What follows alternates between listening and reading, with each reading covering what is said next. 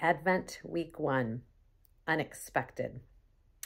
Jesus' birth story included a ridiculous assemblage of people educated priests and blue collar workers, women past childbearing age and girls not yet married, foreign born travelers, and homegrown night shift workers.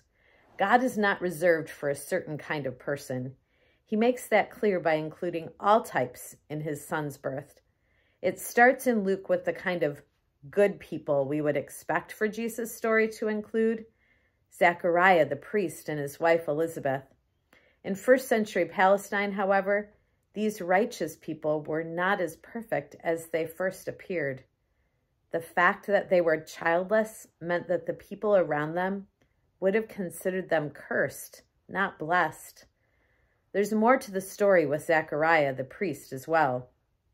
Instead of uninterrupted faith, Zechariah shows plenty of doubt, even going so far as to question an angel, which cost him his voice. Contrast this with Mary, the unmarried virgin, who receives an angelic message of a pregnancy sure to start tongues wagging. Yet Mary's response is simple faith. Joseph, the working class carpenter, is about to raise an unplanned stepson. Politicians and presidents do not herald the birth of Jesus, but rather smelly shepherds working the night shift. It takes years before anyone of worldly significance arrives. Jesus' lineage further reveals the diversity of his family and friends. There's Jacob the deceiver, Tamar the tragic, Rahab the prostitute, and Ruth the foreign-born follower.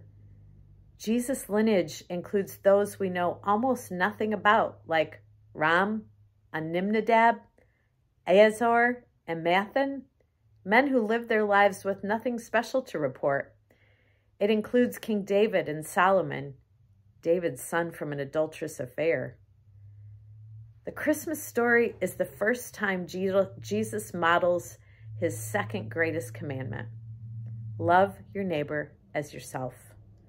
If each of these people was important enough to be included in the arrival of God to earth, surely every neighbor is important enough to be welcomed as a friend. From the beginning, Jesus made room for those who didn't look like him, smell like him, or come from the same tribe as he did. God announced Christ's birth to the whole earth, but he didn't do it on a loudspeaker.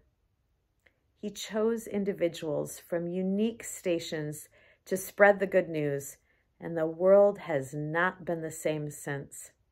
The story of Jesus' advent invites us to consider new ways we might enter into the lives of the people around us.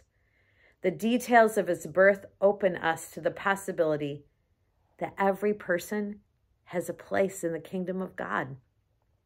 The ways Jesus crossed boundaries of status, class, and tribe pave the way for us to cross those boundaries today.